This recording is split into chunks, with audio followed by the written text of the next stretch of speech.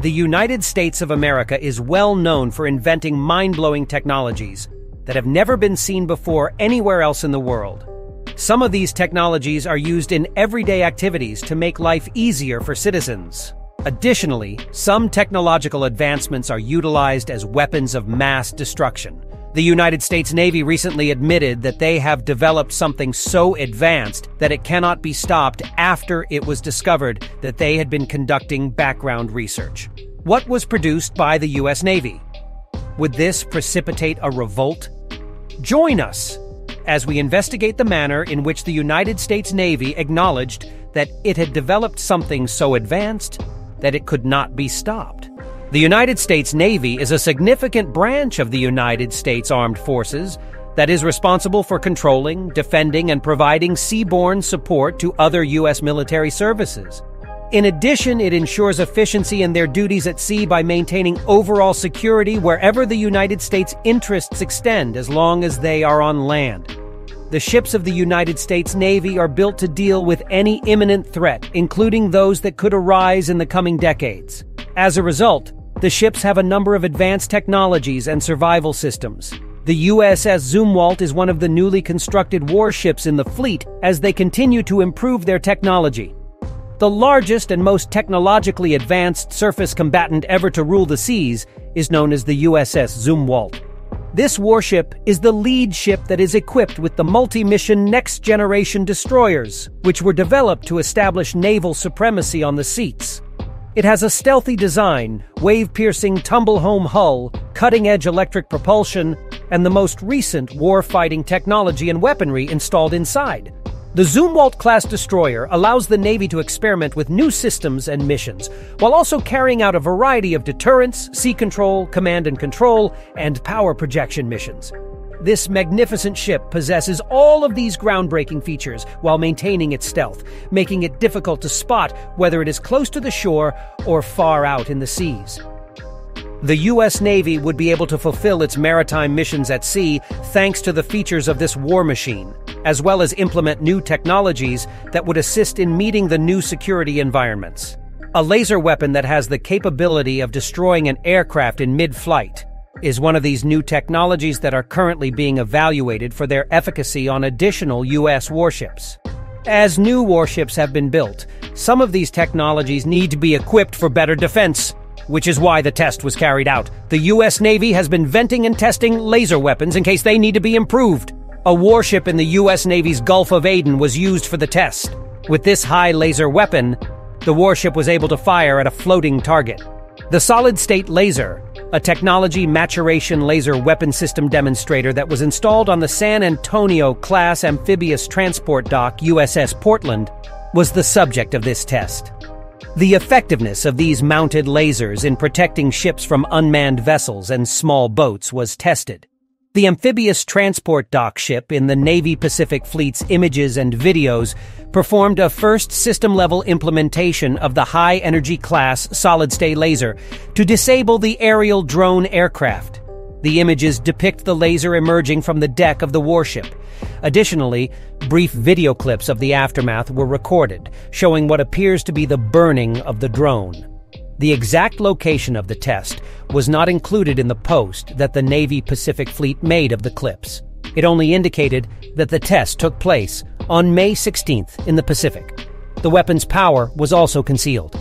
According to a 2018 report from the International Institute for Strategic Studies, Advanced sea tests against unmanned aerial vehicles, UAVs, and small craft may have been conducted by a 150 kilowatt laser. Because it will assist, this was a significant technological innovation leap. The solid state laser weapon system demonstrators capabilities against potential threats are of great interest to the U.S. Navy and armed forces as a whole. The commanding officer of Portland, where the laser weapon was tested, Captain Akari Sanders, also stated that he agreed with this. With this new advanced capability, we are redefining war at sea for the Navy, he went on to say.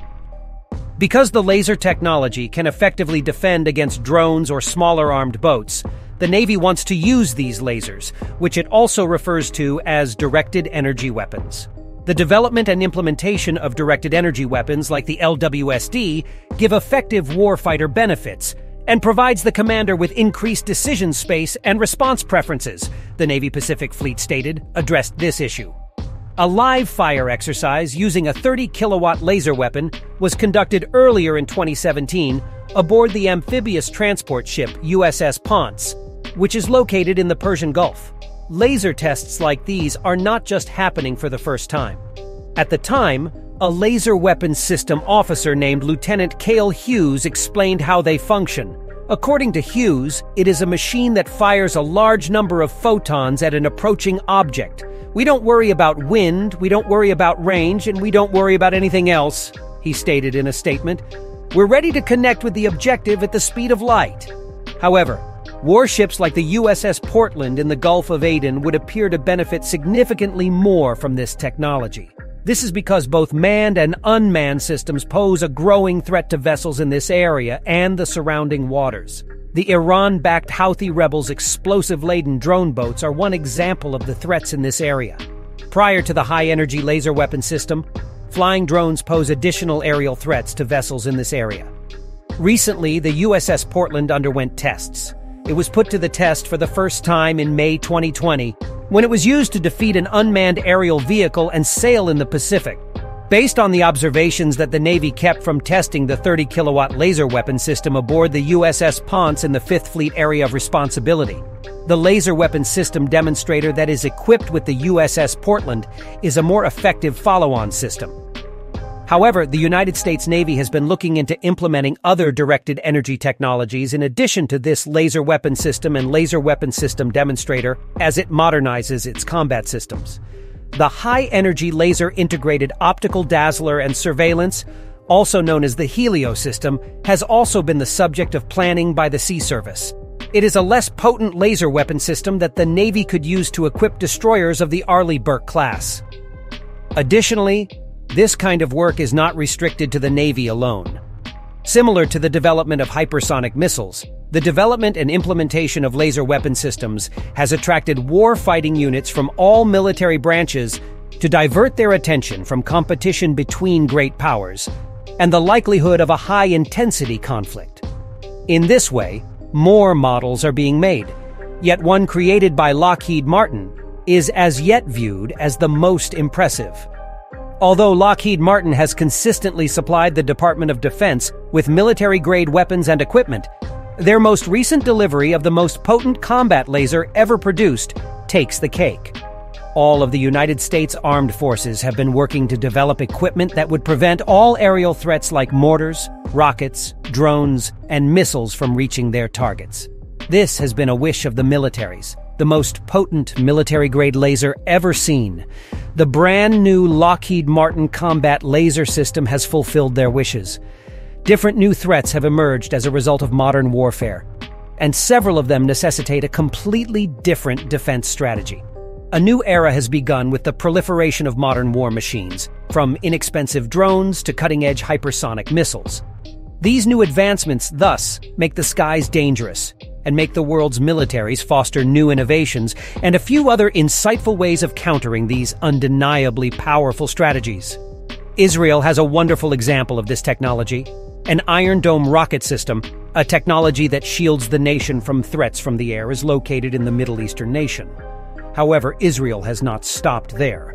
The country has begun testing and implementing the Iron Beam, an anti drone and anti missile laser system. The situation is also similar to that of the United States, where the Air Force and Navy are testing these kinds of systems right now, but no date has been set for their actual field deployment. The majority of these systems have a power output of approximately 60 kilowatts, which can render Class 3 drones useless. Despite the fact that Class 3 robots are around 1,300 pounds, the Iron Bar framework, for its situation, gloats a considerably more significant 100 kilowatts of generally speaking power that can counter adversary rockets and mortars overhead and wreck them with this recently conveyed framework. In terms of performance, Lockheed Martin has set a new standard, ushering in a new era for laser defense. This new era is represented by the aerospace company's brand new 300 kilowatt laser system. Lockheed Martin is leading this new era. The new Lockheed Martin creation utilizes a Star Wars demise star way to deal with send off its super powerful light bar. The laser basically works by combining a number of smaller individual lasers with different wavelengths into a single larger beam, the powerful light-blasting missile beam. As per the Aviation Organization, this unearthly beamer joined with high-energy laser engineering innovation is at the core of Lockheed's capacity to convey such a strong framework. Lockheed Martin expanded the power and proficiency and decreased the weight and volume of constant wave high energy lasers, which diminishes the gamble for future handling endeavors of high power laser weapon frameworks, said Rick Cordaro, VP of Lockheed Martin Progressed Item Arrangements, in an explanation from the Safeguard Assembling Organization. This laser system is not the only high powered combat laser weapon that the company has delivered to date, according to the same statement. This aerospace company was also proud of its statement when it said that the contractor delivered quickly ahead of schedule when they were given the go ahead to start working on the project in 2019 from the Department of Defense. This 300 kilowatt class laser is ready to integrate with the Department of Defense demonstration efforts, including the U.S. Army's Indirect Fires Protection Capability High Energy Laser Demonstrator, IFPC HEL, laser weapon system, a release from Lockheed Martin Corporation stated when the aerospace company was asked how the Department of Defense could utilize this new laser technology to its full potential. The U.S. military is testing and evaluating this system, just like previous laser systems. There is no real period or date for field sending. Instead, the U.S. Army will first put the systems through a rigorous evaluation process. After that, they might make their way to the field, where the troops will use them in all their glory. The Army's IFPC demonstration efforts will be aided by the Healthy Laser. The company provides an explanation of the anticipated testing timeline, which calls for this year's laboratory and field testing. The new 300 kilowatt laser from Lockheed Martin probably has enough power to target even the most powerful missile systems, including hypersonic missiles. It would only be a matter of time before lasers of this unique power level begin to appear on the battlefield of the 21st century, given the frequent advancements in such systems made by militaries around the world.